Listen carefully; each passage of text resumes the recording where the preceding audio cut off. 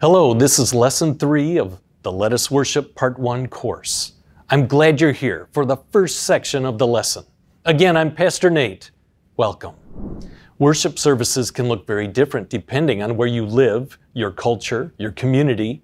In Africa, a worship service may be held in the early morning before the sun is hot, gathering under the shade of a boab tree. In Europe, you may meet with a few group members at a city park or a community center. In Asia, you may have an available apartment on the 14th floor of a high rise building where your group worships in the evening after work. When you're among believers sitting together, studying God's Word, or standing with your fellow brothers and sisters in Christ singing together, or when you're relaxing at home watching online church on your phone, what do you think God sees as you're doing these things? We may welcome the thought of God seeing us at our best, in community with other believers, worshiping and praising Him. But God also sees us at other times.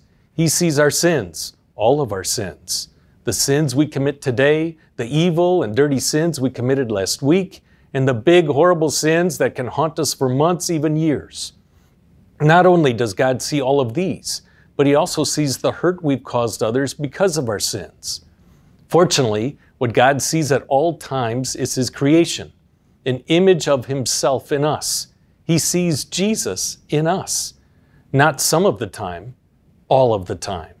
You and I appear before God in a white robe, shining and completely clean of all our sin and guilt. God accepts us as equals among all of our fellow believers, even the pastors among us. God sees you and I the same. You may not believe me, and that's okay. But let's learn from Scripture about how God truly sees us. Galatians chapter 3 says, so in Christ Jesus, you are all children of God through faith. For all of you who were baptized into Christ have clothed yourselves with Christ. Listen carefully. Through faith in Jesus, you receive credit for Jesus' perfect life as if you had lived a perfect life yourself. Through faith in Jesus, you receive credit for Jesus' death on the cross, as if you had taken that punishment yourself. The book of Isaiah says, Come now, let us settle the matter, says the Lord. Though your sins are like scarlet, they shall be as white as snow. Though they are as red as crimson, they shall be like wool. God's word uses the color white to portray purity and holiness. Through faith in Jesus, God considers you to have perfectly obeyed all of His commandments, and all of our sins have been forgiven and completely removed. You no longer have spiritual stains and you are no longer connected to the sins you committed in the past. The sins from your past are no longer attached to you. God tells us throughout Scripture many, many times. Let's learn Psalm 103 to connect God's grace to our worship. Praise the Lord, my soul. All my inmost being, praise His holy name. Praise the Lord, my soul, and forget not all His benefits, who forgives all your sins and heals all your diseases who redeems your life from the pit and crowns you with love and compassion, who satisfies your desires with good things so that your youth is renewed like the eagles. The Lord works righteousness and justice for all the oppressed. He made known his ways to Moses, his deeds to the people of Israel. The Lord is compassionate and gracious, slow to anger, abounding in love. He will not always accuse, nor will he harbor his anger forever. He does not treat us as our sins deserve or repay us according to our iniquities. For as high as the heavens are above the earth, so great is his love for those who fear him.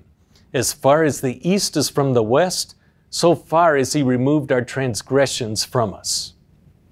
So, you are sitting at worship, wherever it is and whenever it is, clothed in the white robe of holiness that Jesus won for you on the cross.